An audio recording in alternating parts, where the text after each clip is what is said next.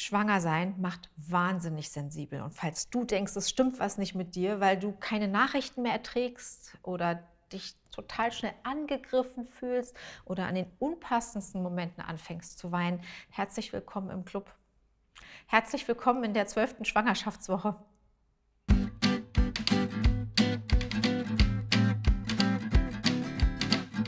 Wir brauchen ja, um durch unseren herausfordernden Alltag zu kommen, eine gewisse harte Schale. Da werden wir von Leuten angepöbelt, angehupt, lauter schlechte Nachrichten im Fernsehen, in den Nachrichten, aber auch Überschriften in Zeitschriften, selbst wenn wir sie gar nicht kaufen. Wir laufen am Kiosk vorbei und lesen, dass ein Kind entführt wurde. Social Media, wir scrollen, wir kriegen Beiträge angezeigt, die wir eigentlich gar nicht gerade verkraften können.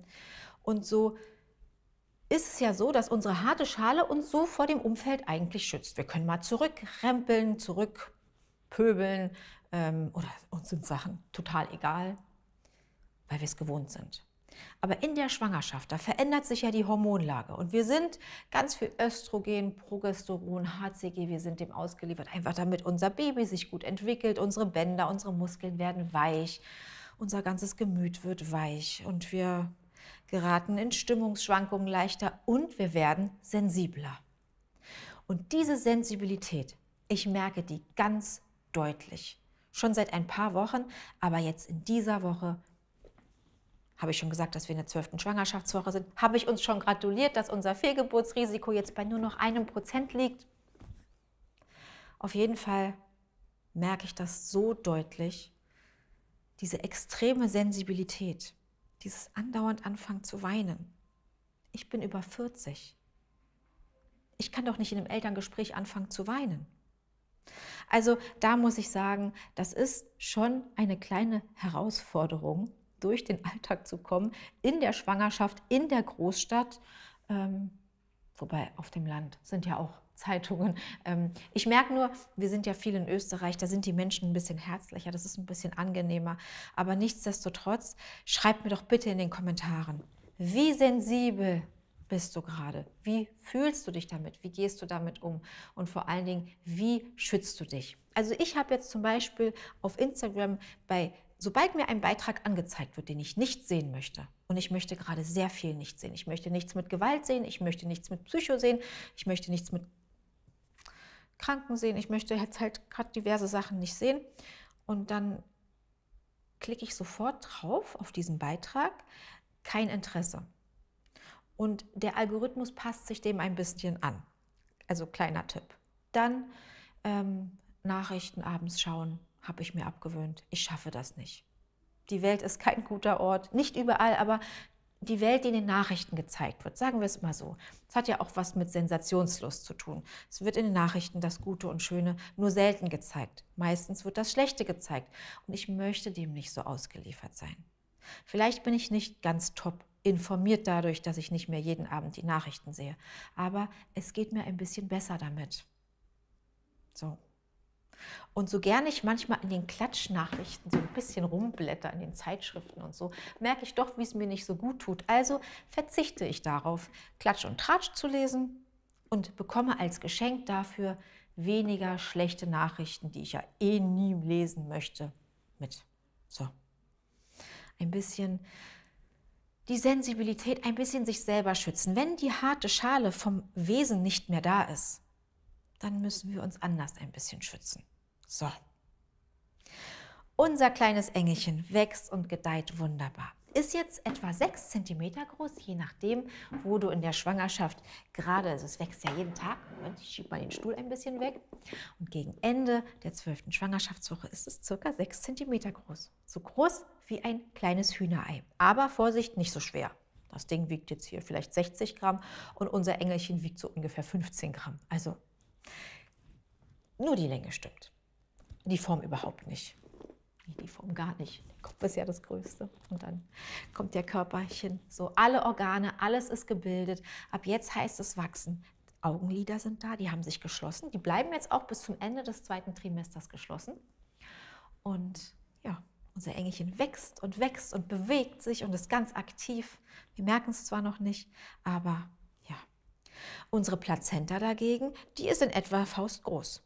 Wenn man jetzt bedenkt, dass unser Engelchen so ist, also so, und so die Plazenta, dann ist das schon ein ganz schöner Raum für ein Babybäuchlein.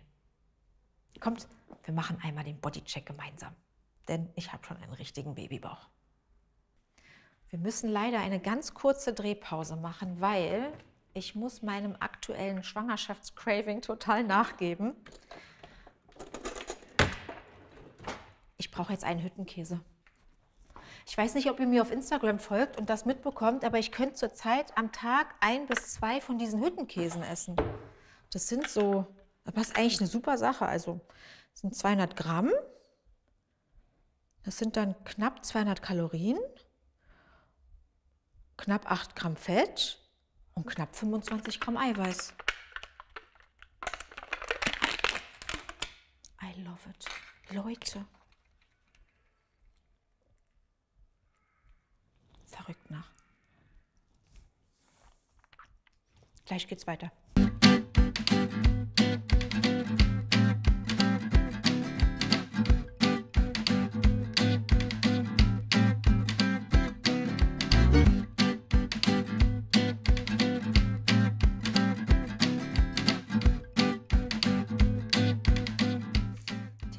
So schnell kann's gehen.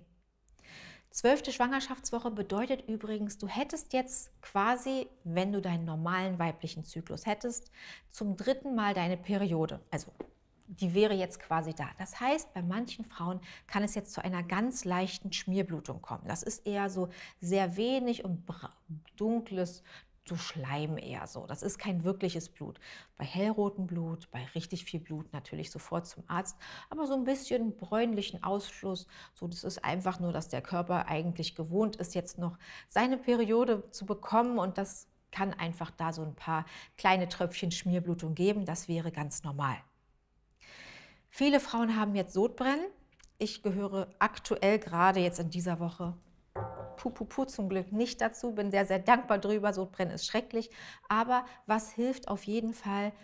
Äh, Mandeln kauen, Haferflocken kauen, nicht, dass die Sodbrennen verhindern. Sodbrennen kommt ja einfach, dass hier der Reflux einfach sehr gedehnt ist und also dieses, was den Magen schließt und deswegen, also durch unsere ganzen Hormone ist das alles weicher und elastischer und deswegen kann Speisebrei leichter nach oben gelangen. Das gilt übrigens gerade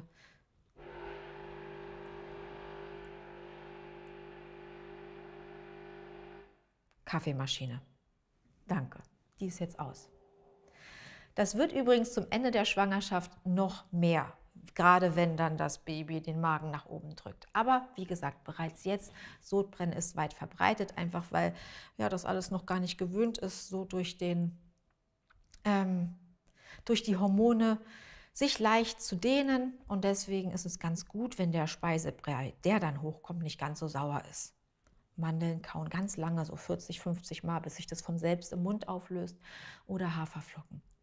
Das Wasser staatlich Fachringen oder andere Heilwasser, die ganz viel Hydrogencarbonat haben, können ebenso helfen, ähm, die Säuren zu neutralisieren. Also ich habe auf jeden Fall, weil ich hatte ja diesen einen Tag Sodbrennen und seitdem Panik, dass das wiederkommt, habe ich auf jeden Fall neben meinem Bett so eine Flasche staatlich Fachregenwasser stehen und sollte das Sodbrennen wieder kommen,